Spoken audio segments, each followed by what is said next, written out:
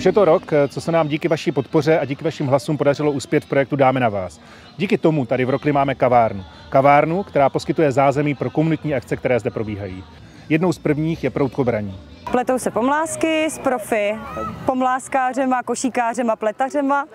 Máme skákací hrady, je tady malování na obličej, doprovodný stánkový prodej, koníci nám tady jezdí z mokré, přijeli s poníkama, s koníkama. Máme i hudební doprovod, Single Life, který s náma spolupracuje i na jiných akcích. Tak připravujeme rozšíření zahrádky, která nebude jenom pro zákazníky kavárny, ale bude hlavně i jakoby pro návštěvníky Rokle jako takové. Můžou si zde udělat piknik, můžou si posedět, nemusí si ani nic kupovat přímo v kavárně. Budou zde napevno dané velké slunečníky a vedle toho budeme mít ještě lehátka a možná nějaké sedací vaky. Lišinská Rokle bude žít kulturními akcemi po celý rok.